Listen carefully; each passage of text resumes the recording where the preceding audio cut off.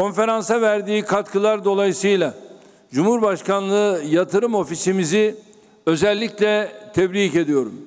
Ülkemize doğrudan yatırımların artması için ne gerekiyorsa imkanlarımız dahilinde maddi ve manevi bütün destekleri sağlıyoruz. Cumhurbaşkanlığımız bünyesinde faaliyet gösteren yatırım ofisimiz girişimcilere yatırımları öncesinde, yatırımları esnasında ve sonrasında gereken her türlü desteği ve kolaylığı sunuyor.